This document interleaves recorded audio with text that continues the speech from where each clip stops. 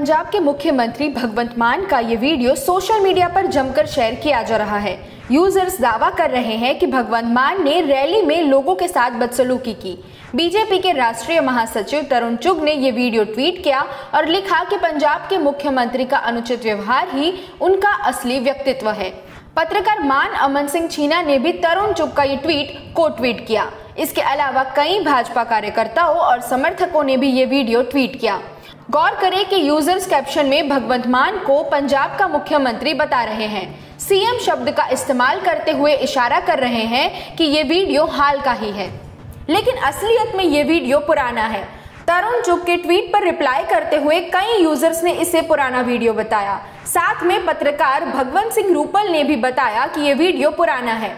उन्होंने 2019 के इस फेसबुक पोस्ट का लिंक भी ट्वीट किया। वीडियो में दिख रहा है कि लोग काला झंडा लहरा रहे थे और इस वजह से भगवंत मान नाराज़ हो गए।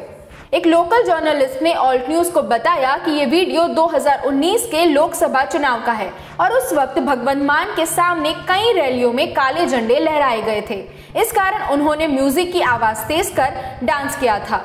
गायक जस्सी जसराज ने मई 2019 में इस घटना का एक और वीडियो पोस्ट किया था। इसके अलावा एक और स्थानीय पत्रकार ने भी इस बात की पुष्टि की। उन्होंने कहा कि यह वीडियो 2019 का है और पंजाब के संगरूर ज़िले के घनौर कला गाँव का है। उस वक्त वीडियो शेयर करने वाले जस्सी जसराज भी संगरूर से चुनाव लड़ रहे थे। हालाँकि यह वीडियो कहाँ का है और किस वक्त रिकॉर्ड किया गया था, इस बात की पुष्टि नहीं हो सकी है। लेकिन इतना तो तय है कि यह वीडियो पुराना है और उस वक्त भगवंत मान पंजाब के मुख्यमंत्री नहीं थे।